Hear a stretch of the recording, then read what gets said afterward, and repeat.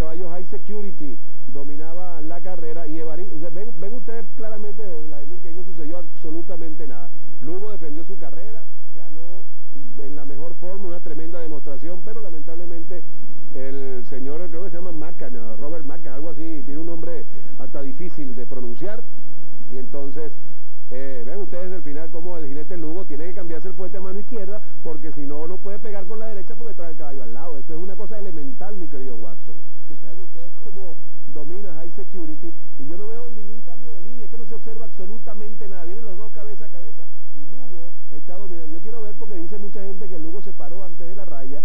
Bueno, y se paró fue en toda la raya. Se paró cinco metros antes de la raya. No, ni cinco metros, no. Ahora, Héctor, fíjate, y ustedes, mis amigos, vimos ningún tropiezo en la carrera. Es que no lo hubo. O sea, no lo hubo. Entonces, aparentemente otra, ah, vean ustedes aquí cuando se levanta o Lugo se para, bueno, ahí viene mandando Ahí está todavía. mandando, ahí están en toda la raya. Mire, ve usted, ahí se para porque ya ganó la carrera. Claro, él se- él se levanta paró en el último brinco. En los 30 centímetros finales. Ahora, Héctor, eh, hablamos con los comisarios aquí en el hipódromo otra versión del, de- del distanciamiento es que el caballo se venía subiendo, venía subiendo, venía subiendo, venía abriendo a el tordillo de Baristo desde la curva.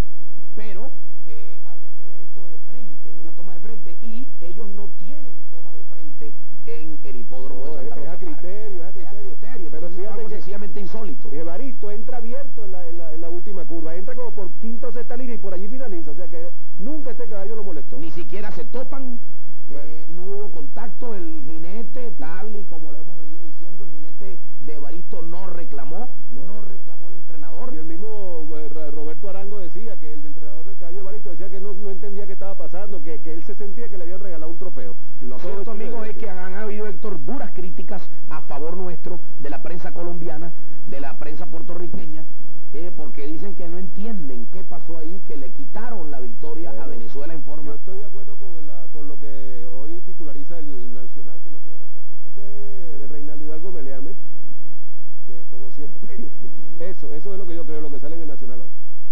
Así es, mis amigos, ahí estaba la ceremonia, que no duraría mucho. Ahí viene High Security con Jaime Lugo, la gente de Santa Rita, la delegación de Santa Rita que fue para allá, eh, a Yubi Flores fletó un avión para llevarse más de 20 invitados especiales, porque él daba por descontado el triunfo de su pupilo High Security. Es lamentable, amigos, porque ustedes vieron la carrera.